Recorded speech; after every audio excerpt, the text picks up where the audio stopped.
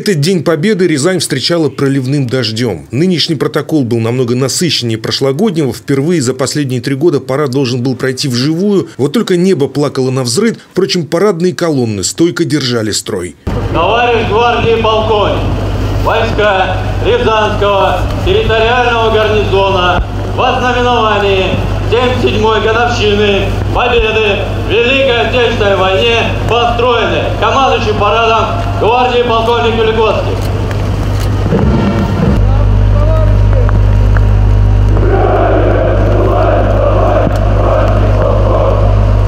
Около 300 тысяч уроженцев земли Рязанска ушли на фронты Великой Отечественной, 180 из них не вернулось. Возложение цветов – это дань их памяти. В своей речи у «Вечного огня» губернатор Рязанской области Николай Любимов был подчеркнуто строг и лаконичен. Он поблагодарил ветеранов, сказал о великом подвиге рязанского народа в Великую Отечественную, а затем вернулся к нынешней повестке. «У нас есть непобедимая сила духа, воля и вера в справедливость», – заявил он. Мы не допустим, чтобы нацистская идеология снова пустила корни. Нам не нужна такая новая история. Поэтому сегодня Россия ведет спецоперацию на Украине, чтобы помочь окончательно завершить восьмилетнюю войну на Донбассе. Уважаемые военнослужащие, дорогие наши ветераны, уважаемые рязанцы, с праздником всех вас! Здоровья, бодрости, духа, благополучия, успехов в добрых делах на благо Рязанской области и всей нашей великой страны. Слава ветеранам Великой Отечественной войны! Слава труженикам тыла! Слава народу-победителю! С праздником вас! С Днем Победы! Ура!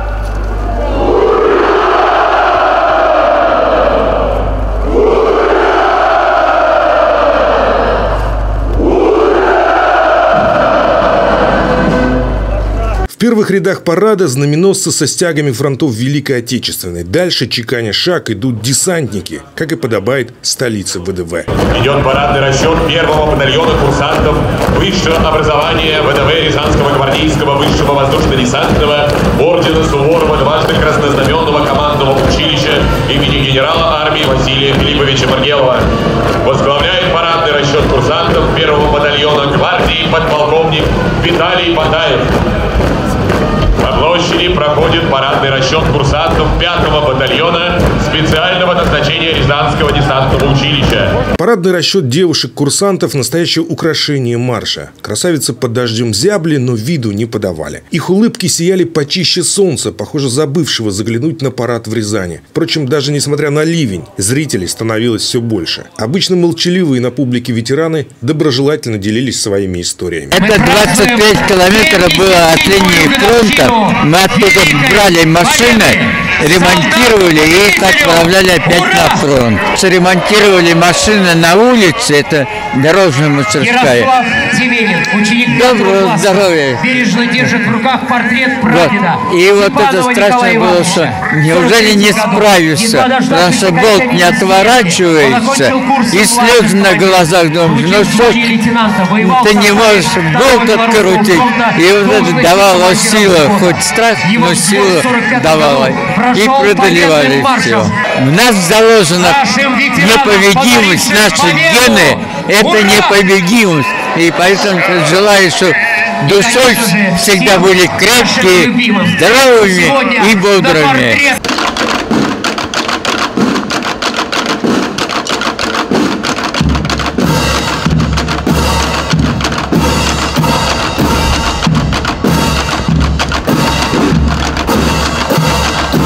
Вот так бодро и весело открыли смотр строя песни барабанщицы. Песни же в хоровом военном исполнении звучали самые разные. От «Вставай, страна огромная» до более современной «Служить России». Естественно, не обошлось без прощания славянки в почти театрализованном исполнении девушек. А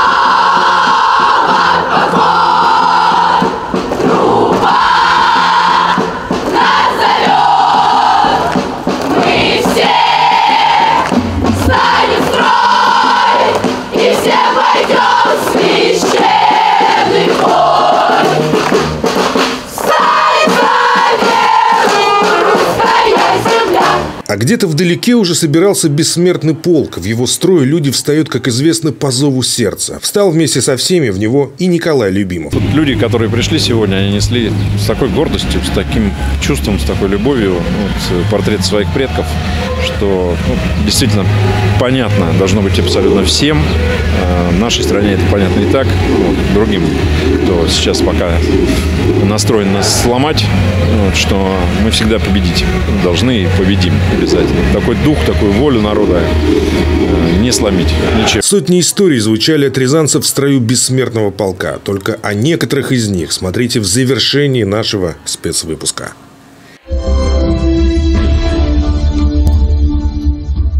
За 77 лет, которые прошли с Великой Отечественной войны, остается невыясненной судьба минимум двух миллионов бойцов Красной Армии. Напротив их фамилии стоит приписка «Пропал без вести». Найти места их захоронения все труднее с каждым годом. Однако поисковое движение розыск не останавливает ни на минуту. Идентификацию проводят с помощью солдатских медальонов и книжек. И каждый год кому-либо из бойцов Красной Армии возвращают их имена. В руках у председателя регионального отделения поискового движения России медальон воина-красноармейца Рязанца Василия Иванцова. И мгновение спустя медальон передадут родственнику. Ну, что сказать-то? Спасибо. Нашим дедам, что они победили в этой страшной войне. Спасибо посыковикам, что находит людей, которых ждут в семьях, числятся как пропавшие без вести. Останки нашего земляка обнаружили еще в 2019 году на вахте памяти в Калужской области. На границе двух деревень поисковики обнаружили воронку с 40 бойцами Красной Армии. Медальоны были только у 16 человек. Экспертиза шла три года. И только теперь заполненный медальон передали родственнику. Солдат остался в братской могиле, там, под Калугой. Память о нем вернулась на родную землю. Говорят, что солдаты не заполняли солдатские медальоны, потому что было предупреждение, заполнил медальон, умрешь. Нет, все заполняли и все хотели домой. Абсолютно все.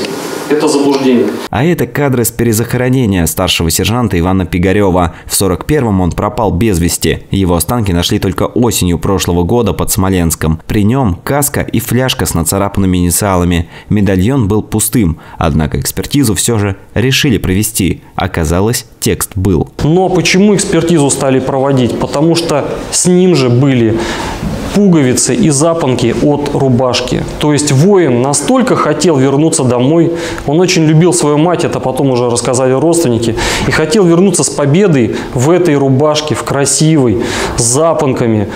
Он не мог просто не заполнить этот медальон. В региональном отделении поискового движения всего несколько отрядов и патриотических клубов, суммарно 52 человека. За 21 год на вахтах памяти они нашли останки более 300 бойцов Красной Армии, а опознано только 10. Пока. Поисковики, что они делают? Как они работают? Первое – это работа в архиве. То есть найти неучтенные потери на какой-то местности. Потери были. Потери были среди военных, среди партизан, среди местных жителей. Выехать на место, согласовав при этом свой выезд с Министерством обороны. Найти этих людей. Как найти мертвого человека в лесу, либо в поле, где все запахано. Он не откликнется тебе, звать будешь бесполезно. Как хочешь, так и ищи. Задача найти. После опознания, как итог предания земле, и потом снова архив. Работа у поисковиков не прекращается. С начала 22 года уже обнаружены 12 солдат под Смоленском, в Тверской и Новгородской области. Останавливаться в планах нет. В июле состоится вахта, опять же, в Хомжурковском районе Смоленской области и в Бельском районе Тверской области. А, продолжится работа в урочище Гайталово, Кировский район, Ленинградская область. Скорее всего, это будет август. И также в августе пройдет школьная учебно-тренировочная вахта памяти для рязанских молодых поисковиков в городе Смоленск. Поисковики так и работают в бесконечном цикле архив, согласование, выезд, поиск, архив. Выезжают в Смоленские болота, Крымские поля, так и ищут братскую могилу, одинокое захоронение, солдата Красной Армии заполненным медальоном, который так мечтал вернуться домой. И когда ты его открываешь, чувство вот прочитаешь, не прочитаешь, разорвется, не разорвется, они тебя переполняют, и ты потому что ты последний человек, которого сейчас вот судьба другого, другого воина, который жизнь свою отдал, сможешь ты вернуть его имя или не сможешь? То есть фактически ты берешь на себя ответственность за судьбу другого человека в прямом смысле этого слова. Берешь ее в руки. У поискового движения есть также проект под названием «Без срока давности». Его задача – поиск и придание гласности фашистских преступлений. В прошлом году в Брянске нашли захоронение 76 мирных жителей, почти треть из которых – дети. Работы по проектам ведутся параллельно, ведь цель простая – вернуть каждого солдата на родину и вернуть его имя, потому что никто не должен быть забыт и ничто не должно быть забыто. Валерий Седов, Дмитрий Ефимов, телекомпания «Город». Нет на бескрайних просторах нашей необъятной родины, города, села или деревни, которых бы не коснулась Великая Отечественная война страшным известием о гибели родных и близких. Поэтому после победы на всей территории страны появились тысячи памятников, стел, обелисков, посвященных памяти о героях тех страшных лет. Таких памятников, как этот, раскинуто по стране много. В поселках, деревнях и селах каждого региона можно увидеть такую стелу, установленную в 60-е и 80-е годы прошлого века. Они как светочи хранят имена тех мужчин и женщин, которые когда-то жили окрест, а когда началась война, ушли защищать свой дом, свою улицу, свой поселок, страну. В 1941 году, когда началась Великая Отечественная война, Большинство мужчин села Поляны ушли добровольцами на фронт. Многие из них, к сожалению, не вернулись.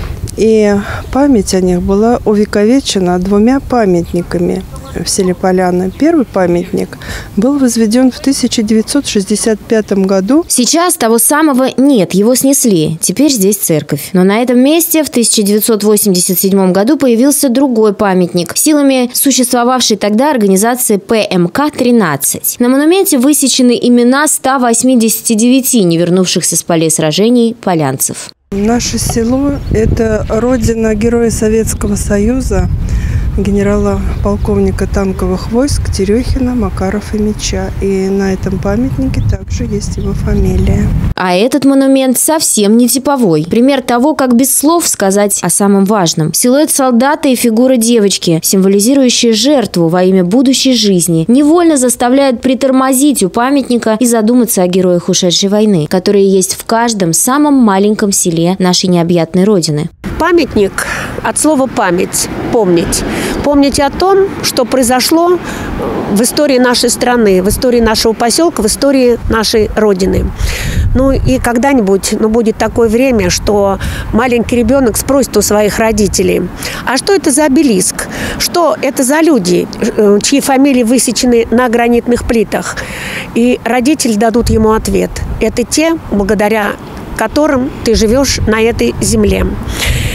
21 июня 1989 года в поселке Мурмана произошло волнующее важное событие. Был открыт памятник павшим мурманцам в годы Великой Отечественной войны. На искусственном холме возле школы, хорошо видимо из дороги, этот монумент спроектировал рязанский художник по фамилии Межорин. Построен памятник на народные средства. Возводили его всем селом. Холм насыпали, собравшись вместе. И по сей день берегут и ухаживают, как сакральное место. В 2020 году по программе поддержки местных инициатив инициатив памятник отремонтировали и привели в нынешний вид, не нарушив при этом изначальной задумки. Лаконичная и емкая надпись «Помним» и фамилия 188 мурминцев. В настоящее время идет поисковая краеведческая работа по увековечению фамилии тех воинов, которые, э, которых еще пока нет на доске. Буквально месяц назад мы получили информацию о Дьякове Василии Ильиче, который был призван на фронт Солочинского военкомата и пропал без вести в годы Великой Отечественной войны. Я думаю, что в скором времени ему, его фамилия также будет высечена на гранитной плите нашего монумента. В Тюшево памятник появился недавно, в 2015-м, на средства совхоза «Авангард». Проект разработали архитекторы Макаровы. И вот монумент уже в седьмой раз станет центром притяжения в главный день года. В нашем поселении очень торжественно принято отмечать День Победы. Но, к сожалению, на нашей территории не было такого места, где мы могли бы все собраться. Наш памятник сделан из натурального камня. На нем находится 128 фамилий наших односельчан, не вернувшихся с войны тайны. Мемориал, воздвигнутый на воинском кладбище в Рязани на площади Скорби по проекту рязанских архитекторов, стал поистине народной стройкой и главным местом памяти о Великой Отечественной войне во всем регионе. Плеяда рязанских архитекторов Истомина, Буслакова, Сытых, скульптор Горбунов создали этот проект к 40-летию Победы. Старший брат районных обелисков появился в 1985 году. Он включает звонницу с колоколами памяти, площадь Вечного огня, попасть на которую можно, пройдя через массивную арку с вырезанным на фасаде изречением «Бессмертен, отдавший жизнь за свободу Родины». Мимо стен памяти с бронзовыми барельефами. Место, выбранное для комплекса, не случайно. С 18 века оно значится на карте как Скорбящинское кладбище. Сейчас здесь находятся могилы более чем двух тысяч солдат и ленинградцев, эвакуированных в Рязани, скончавшихся в годы блокады. Вокруг за годы образовался парк, известный как Мемориальный. И в мирные дни каждый, проходящий мимо, невольно задумается и вспомнит о великом народе-победителе, о великой и страшной войне, о цене Великой Победы. Ведь, как сказал однажды генерал армии, дважды герой Советского Союза Павел Иванович Батов, память о войне живет не только в бронзовых и каменных монументах, а прежде всего в человеческих сердцах. И очень трудно научиться любить живых, если не умеешь хранить память павших.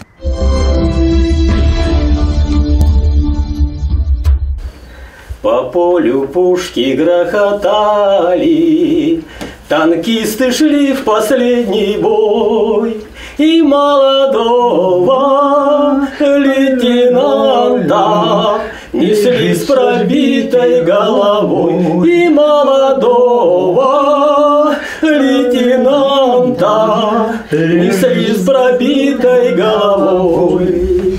Исполнять мечту ветерана – традиция совсем молодая, но уже считаются у волонтеров серебряного возраста одной из главных. Даром, что им самим за 60. К участнику Великой Отечественной войны Александру Ивановичу Савельеву активисты пришли не с пустыми руками. От волонтеров отряда «Аргентум Плюс» прозвучали любимые песни и стихи для ветерана, но было и кое-что материальное. От лица руководства комплексного центра социального обслуживания населения Рязанской области Поздравляем вас с этой знаменательной датой, с Днем Победы русского народа в Великой Отечественной войне. Спасибо огромное. Это вам лично делали открытку. За внимание огромное. Ага, держите. Акция «Исполни мечту ветерана» – инициатива всероссийская. Под эгидой «Мы вместе». Волонтеры, сотрудники центров обслуживания населения и просто неравнодушные люди дарят пожилым творческие номера и подарки, сделанные своими руками. На протяжении недели сотрудники нашего учреждения вместе с серебряными волонтерами отряда «Аргентум Плюс» поздравляли наших ветеранов, которые состоят на социальном обслуживании в нашем учреждении. Они подготовили самостоятельно рукотворные праздничные открытки, вручали им на дому, пели для них песни военных лет, читали проникновенные стихи. Поздравления и подарки – это, конечно, хорошо, но главное все же – исполнение мечты. Александр Иванович давно хотел побывать на могиле жены, но самостоятельно это сделать не мог из-за проблем со здоровьем. Волонтеры протянули руку помощи. Будь спокойна. Я, кажется, каменной стеной здесь. В годы войны Александр Савельев с утра и до поздней ночи работал в поле. Тракторов в то время, понятное дело, не хватало, поэтому все делали вручную. Пахали, сеяли, обрабатывали. Как говорит Александр Иванович, мы были в едином порыве. Все для фронта, все для победы. Для нас было в то время как деликатес картошка – хотя у нас 40, 40 соток, все сдавали. Все для фронта, все для победы, все для разгрома врага. Фронт и тыл были едины. Сегодня в свои 93 года Александр Иванович читает книги и интересуется политикой. А еще оказывает помощь студентам юридических факультетов, разбирает с ними темы, объясняет и передает свои знания другим. В общем, живет по-прежнему, с патриотизмом в душе.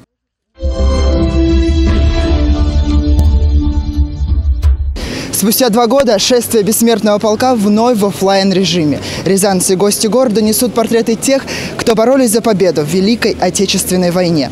В этом году в строю бессмертного полка пройдут и портреты тех, кто погиб во время специальной операции на Украине. Колонна людей с портретами своих родных фронтовиков, тружеников тыла, участников локальных конфликтов уже за час до начала заполнили главную улицу Рязани. Даже непогода не помешала, казалось, бескрайнему морю людей торжественно пройти с портретами своих героев в руках. Ожидание начала акции «Бессмертный полк», кстати, не было томительным. Люди пели песни военных лет, рассказывали друг другу фронтовые истории своих близких. Здесь мой дедушка, который прошел войну, а эта бабушка, она как труженик тыла. Если бы не они, нас не было бы. Мой свекор был рядовой связист, прокладывал связь и награжден Красной Звездой за свой подвиг. Что для вас значит День Победы? Это самый лучший День Победы. Даже очень трогательно. До слез. Это мой дедушка, его прадедушка. Вот. Он прошел всю войну, был танкистом, прожил долгую жизнь, умер в возрасте 79 лет. Вот. Сам он был уроженцем Украины. Всю жизнь прожил в Рязани. Это наш прадедушка Александр Михайлович. В 17 лет ушел на фронт казаком. А это мой прадед Винокур Василий Иванович. Под Сталинградом был ранен, комиссован в 43 году. Вот сегодня пришли отпраздновать День Победы вместе с сыном старшим. Что для вас значит День Победы, вот акции бессмертного Ну, для меня это почтить память наших дедушек, бабушек, которые для нас совершили этот великий подвиг. То есть мы им благодарны. Вместе с портретами героев Великой Отечественной в строю бессмертного полка фотография молодого парня – Дмитрия Топтуна, героически погибшего 14 марта 2022 года в ходе проведения специальной военной операции по защите жителей Донбасса. Дмитрий родился в Рязани, учился в военном автомобильном училище. Герой нашего времени посмертно награжден Орденом Мужества. Мы решили, что пусть пройдет вместе с дедами, которые воевали тоже против нацизма. Вот сегодня вышли поддержать это шествие. День Победы, конечно, светлый праздник вот, для нас всех. Мы всегда помним, и в детстве нас еще родители носили, мы ребенка носили, а сейчас вот не на плечах несем, а вот в виде, ну, как портрет. Губернатор Рязанской области Николай Любимов тоже присоединился к праздничному шествию. В колонии с жителями и гостями города он шел крепко, сжимая портрет своего деда-фронтовика. Это дедушка Алексей Николаевич Никитин, фронтовик, ушел на фронт сразу э, после того, как исполнилось 18 лет. Из Калуги, когда ее освободили, освободили ее в декабре 41-го, вот в начале 42-го он ушел на фронт. То в 50-й армии прошел всю войну до Кенигсберга. Там для него война, сама война закончилась. Он э, попал в госпиталь по ранению, но продолжил служить и только в 57 году вернулся из армии домой. Вот участвовал э, в числе 43 других бойцов в подкопе на Зайцевой горе в Калужской области, в Борятинском районе. Это подкоп, ну, уникальная операция, когда зарылись в землю, 100-метровый ход под землей, заложили взрывчатки огромное количество и взорвали господствующую высоту с немцами вместе. Потом наша армия э, на этом участке пошла в наступление.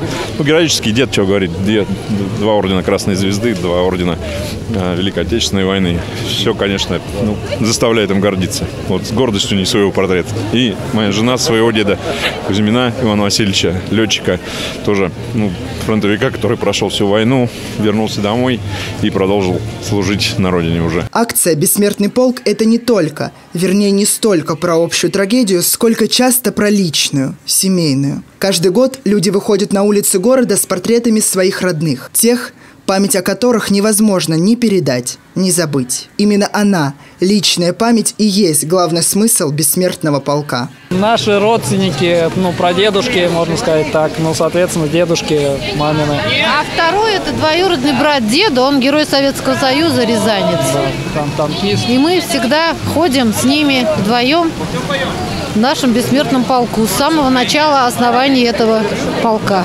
Что для вас значит День Победы? Слезы на глазах. Поем и плачем. Это мой папа, Клюев Иван Павлович, третий белорусский, защищал Кенигсберг. А у меня мама. Она дошла до Берлина. Она, в общем, она работала в столовой. Офицерской столовой. Дошла до Берлина, а потом она дошла на Дальний Восток их отправили. Как раз в Маньчжур, до Маньчжурии дошла. Это наш дедушка, мой прадедушка, мамин родной дедушка. дедушка. Кучуков. Кучуков Александр Несторович. Он э, служил в ВДВ, разведка. Совершил очень много подвигов. Когда э, пошел в разведку, доложил наше месторасположение врагов, бандитов, и были уничтожены бандиты. Был Еще, ранен, да, был контужен. Также он, значит, э, спас, э, вытащил с поля боя много красногвардейцев наших, раненых, тяжело раненых. И когда пулемет э, мешал нашим прорваться вперед, он, недолго думая, пошел на этот пулемет и подорвал его гранатой. Это два моих прадеда. Один был исполняющий обязанности Куйбышевского, командующий Куйбышевского военного округа. И второй прадед танкист. Вот решила тоже принять участие. участие. принимаете участие? Да. Стараюсь. Что для вас Стараюсь. значит День Победы? Ну, святой праздник. Самый святой, наверное, из всех существующих. Победа за нами. Спасибо Будем дальше стараться. Как говорят сами люди, бессмертный полк – это повод изучить семейные архивы, возродить историю поколений и передать ее своим детям, вспомнить о корнях и, что важно, оцифровать эти воспоминания. Потому что никто не забыт, ничто не забыто. И так будет всегда.